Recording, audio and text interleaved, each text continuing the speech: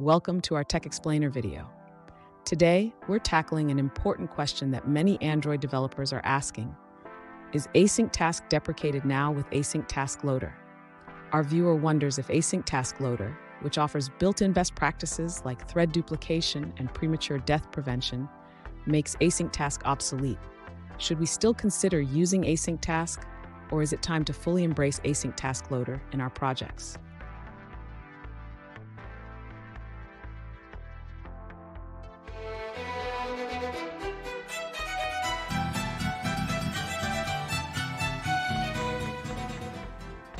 Welcome back to another technical video. Today we're going to be going through your question, answering it, and hopefully getting you to that solution.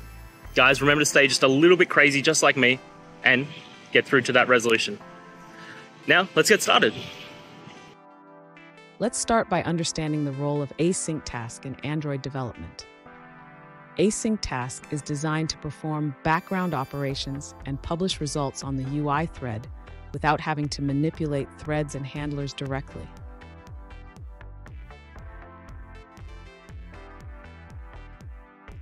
However, async task has some limitations. It can lead to memory leaks if not handled properly, and it is tied to the lifecycle of the activity or fragment, which can cause issues during configuration changes.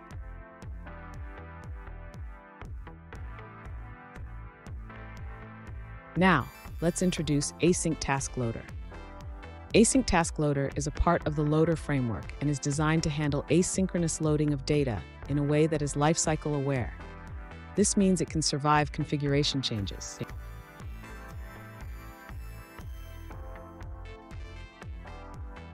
Given these advantages, you might wonder if you should stop using async task altogether.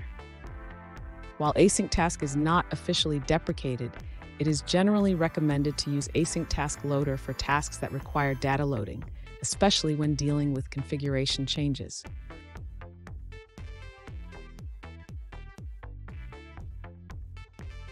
In conclusion, while async task can still be used for simple tasks, Async Task Loader provides better practices for handling background operations in a robust way. It's advisable to adopt Async Task Loader for new projects.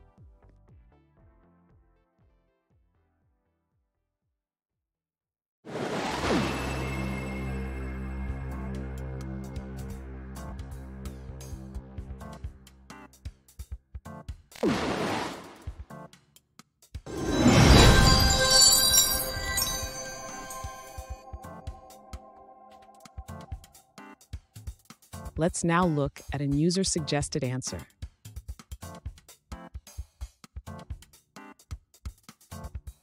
Async Task was not deprecated in 2017, but it is now deprecated in Android 11 due to memory leak concerns.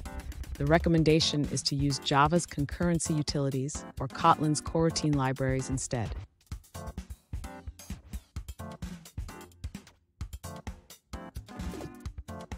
The official commit in the Android AOSP project includes a deprecation notice for async task, urging developers to switch to more modern concurrency tools.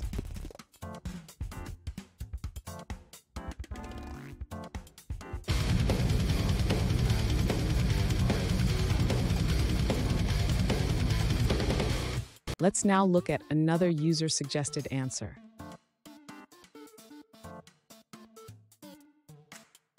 Async Task Loader is great for loading data in activities or fragments, but Async Task is more versatile for various background operations. It's not deprecated, and there are alternatives like RxJava and handler threads.